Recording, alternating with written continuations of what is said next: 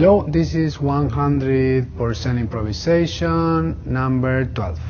So here I'm gonna show you, uh, probably for the last time, because as you know, you've done one already, which is dancing with the music CDs that I made up uh, just for this purpose. And I wanna show you for the last time um, how to do, for example, a step and a boleo within time. And what are your options? What you should be looking for uh, uh, to do it comfortable and reflexive. So uh, let's take, for example, just to make it easier for everyone, um, we're gonna do one, two, three, four let's say front cross and front boleo. Now because we are looking uh, and we are dancing within time from 1 to 4 you don't have to perform anything. You get it? The only important thing will be number 5 is the step in this case front cross and number 6 is the front boleo. Okay? So Let's say that you put the music uh, of the link that is on, on the page and you're gonna hear the music and let's say we're dancing uh, within that music. You're gonna hear my voice saying I want it from cross from boleo. So if I were, you know, more a beginner, I won't even be moving. But so you hear my voice saying one, two, three, four. From cross, from boleo. And then you are free.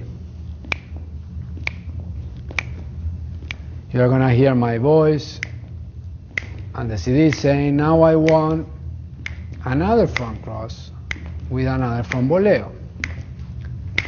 So it is one, two, three, four front cross, from boleo. Yeah, that's it. It's this simple. So, if you already have experience dan dancing, well, show it. So let's say this is the time, yeah? So start to dance. Do your own thing. Right? So you'll hear my voice and saying one, two, three, four. Front cross, front boleo. Pa, pa. And you'll hear my voice saying one, two, three, four. Front cross, front boleo. Pa, one. And you're gonna hear my voice one, two, three, four, front cross, front boleo. Yeah, I'm getting carried away a little bit, but uh,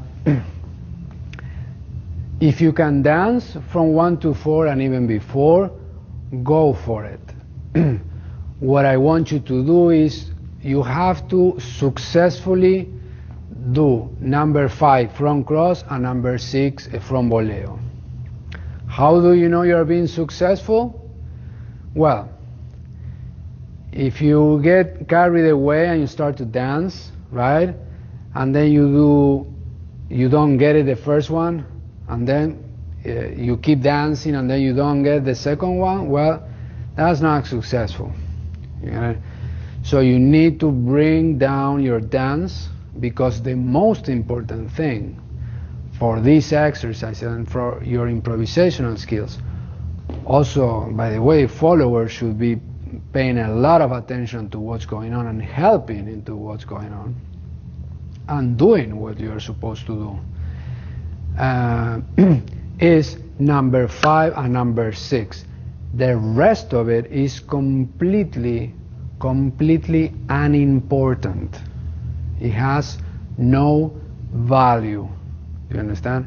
What we are looking is for just two simple movements, but for the first time something outside of you is asking you where that has to happen. Do you understand? And that's a very, very important thing. Uh, because improvisation, the last stand of improvisation is when you are listening to music and the music itself is going to start to be asking you for things and for elements and for phrases and for feelings and, uh, and things like that. So this is the way we're targeting to dance. Uh, so let me show you, for example, uh, one, two, three, four, open step, back boleo. Yeah. So this is the time. Okay. You're gonna hear my voice on the CD. One, two, three, four. Open step, back boleo. That's perfect. If you are more a beginner, that's okay. If you are more a beginner, wait on one leg. One, two, three, four. Open step, back boleo and this is perfect. Do you understand? This is how it's supposed to be uh, done. Why? Because the most important thing is those two elements, and now the whole value is within time. So keep the frame happy, cool, relaxed, comfortable. See you in the next class.